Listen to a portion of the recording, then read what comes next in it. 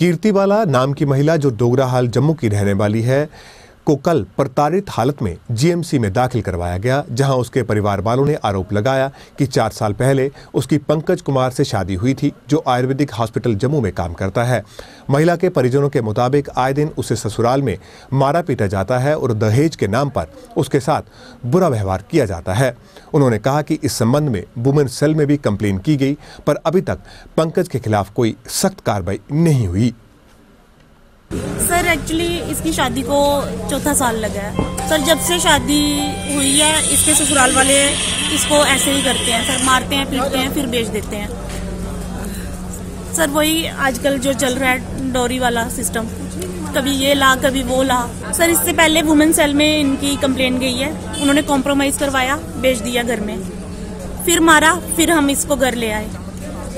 इस बार हमने इसको आठ नौ महीने के बाद फिर से भेजा सर। पंकज कुमार नाम है उस लड़के का। क्या करते हैं? वो इधर आयुर्वेदिक हॉस्पिटल में जॉब करता है। उसकी मदर उसकी सिस्टर इवन उसके जो चाचा चाची हैं वो भी बीच में रहते हैं। सारे सर इसको मारते हैं। हर किसी बात का सर ताना गाली गलोच करना पेरेंट्स के बारे में बोलना कुछ भी। सर आठ महीने के बाद हमने इसको ससुराल में भेजा।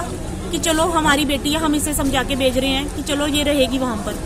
लेकिन सर, उसके बाद महीना, डेढ़ महीना हो गया है उस लड़के ने इसके साथ बिल्कुल बात नहीं की। जिस जिस दिन बात करने की कोशिश की इसने, उस उस दिन उस लड़के ने इसे मारा। लेकिन आज कुछ ज़्यादा हो गया, जैसे जी ऑफ़िस से आई, इस पे मारपीट शुरू कर दी उन्होंने। सर, इतना मारा, लातों से मारा, मुक्कों से मारा, और इसकी हालत बाकी आप देख रहे हो, सर।